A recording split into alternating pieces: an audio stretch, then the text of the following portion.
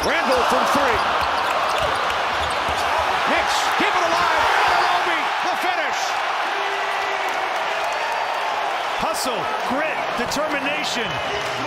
That's the identity of this Knicks team, and that's why Anunoby fits so well.